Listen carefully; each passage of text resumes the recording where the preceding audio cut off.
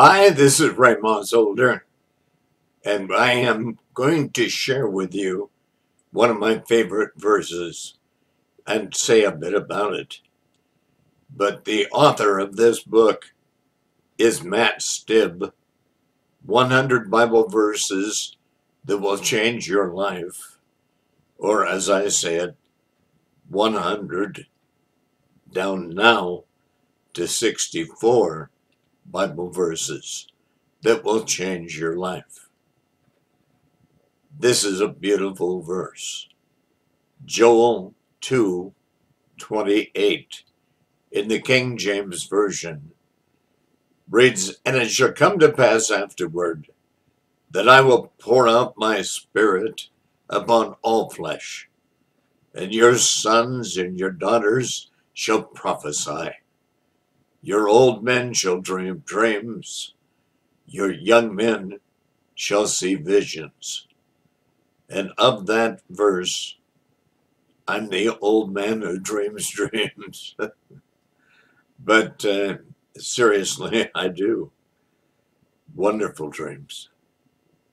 But I also, Acts 2 began this moment and in the Old Testament, Matt will be telling us even more. Joel 2.28 in the NIV, and afterward I will pour out my spirit on all people. Your sons and daughters will prophesy. Your old men will dream dreams. Your young men will see visions. Joel's name means Yahweh is God. And Yahweh is another word for God. Very little is known about who he was or when he prophesied. Some argue that he prophesied in the 8th century BC. Others propose that he prophesied after the exile in the 5th century BC. Joel 2.28 is perhaps the most famous of his prophecies. Like other Old Testament prophets, Joel prophesies a day when God will pour out his spirit.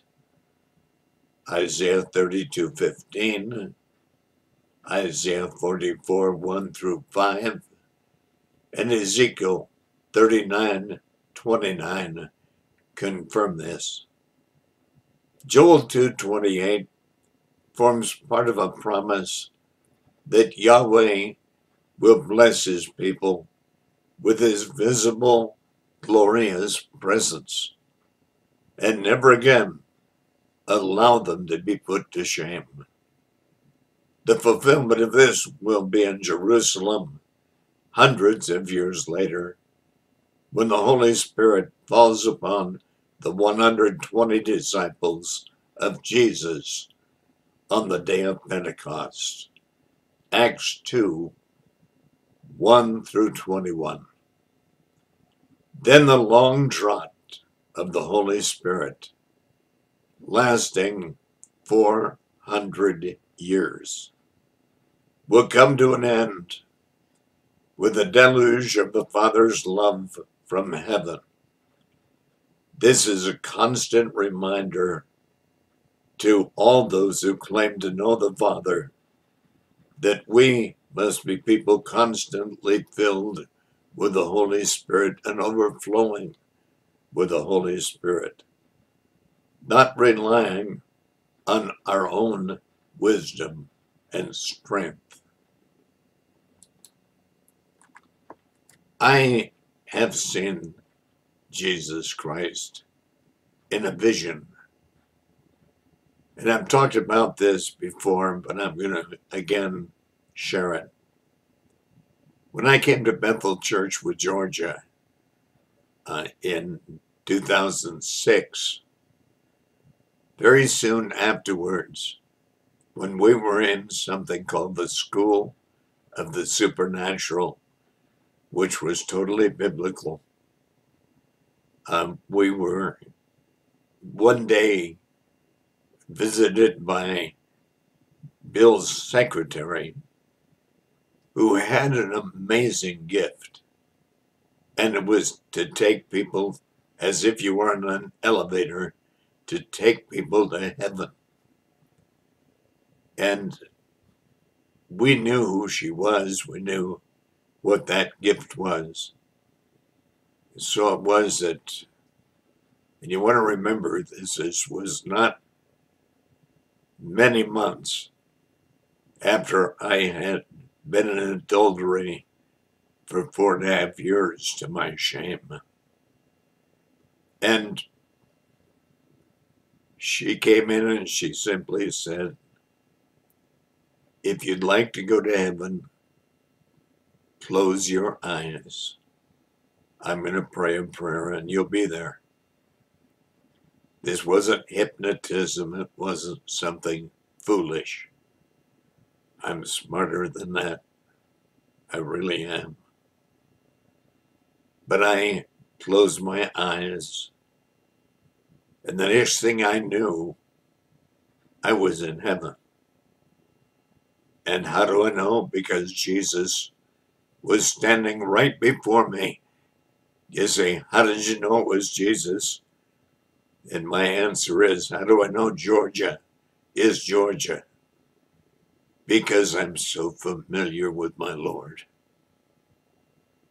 And the Lord turned to me, and the first words he said shocked me to my toes.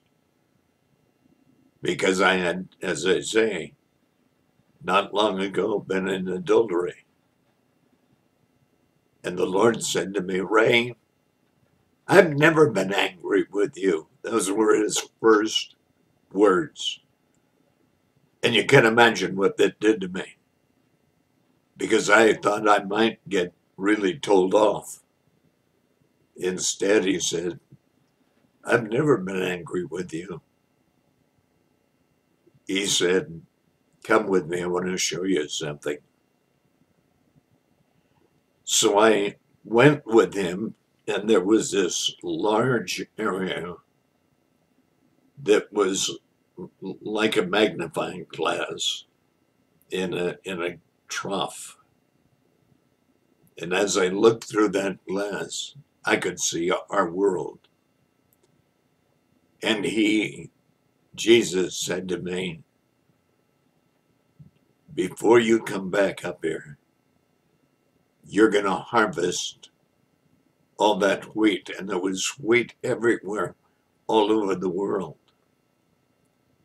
Now, you want to remember that I had traveled for 34 years all over the world, but only to 25 countries. And suddenly, when the Lord said that to me, I had no idea how I could reach all the rest of those countries. And then he took me over to Father God, who was sitting on a throne. And Father God and Jesus laid their hands on me and prayed for this ministry I didn't know what ministry it was at that time, but later would find out that it was this ministry where I would minister to 191 countries through reachmorenow.com and now YouTube television. Is God a God who keeps his word? Absolutely. Absolutely. You can count on it more than you can count on any human's words. By far. I was never angry with you.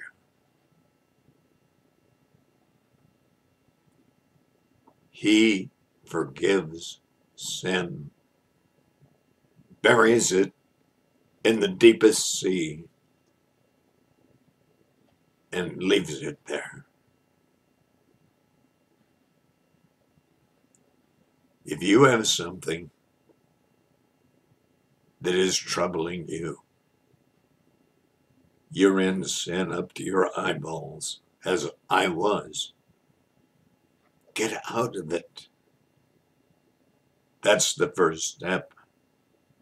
And the Lord will work the timing and will work the way for you to get out of it.